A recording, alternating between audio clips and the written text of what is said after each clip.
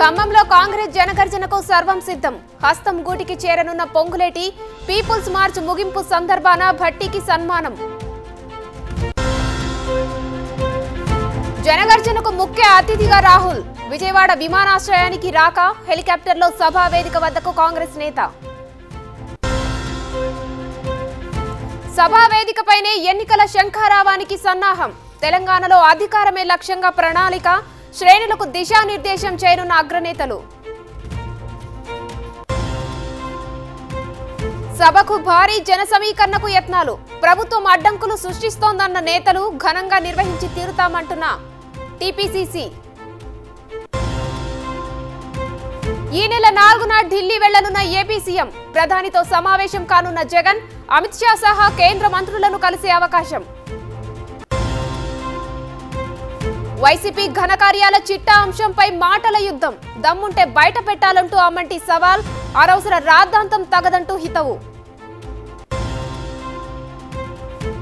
ఈ నెల పన్నెండున ఏపీ కేబినెట్ భేటీ. సీఎం అధ్యక్షతన జరగనున్న సమావేశం జగనన్న సురక్ష పథకం సహా పలు అంశాలపై చర్చ. పార్టీలో మళ్ళీ యాక్టివ్గా విజయసాయి రెడ్డి. చంద్రబాబు టార్గెట్గా ఘాటుగా ట్వీట్ కోట స్వాతిముత్యం చౌదరి అంటూ నామకరణం. నేడు వరంగల్లో బీజేపీ సన్నాహక సమావేశం.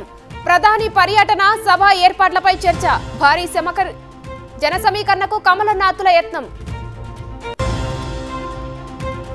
ప్రజల ఆశీర్వాదం దొరికే సందర్భం ఆసన్నమైంది. కార్యకర్తలను ఉద్దేశించి ఈటల ఆసక్తికర ట్వీట్.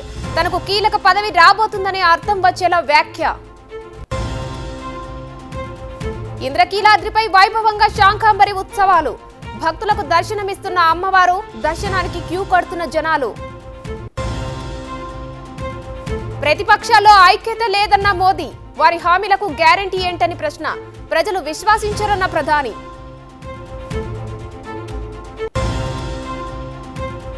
తమిళనాడు తంజావూరులో వింత ఘటన. వాహనదారులకు ఉచితంగా కిలో టమాటాలు హెల్మెట్ ధరించిన వారికి అందిస్తున్న పోలీసులు.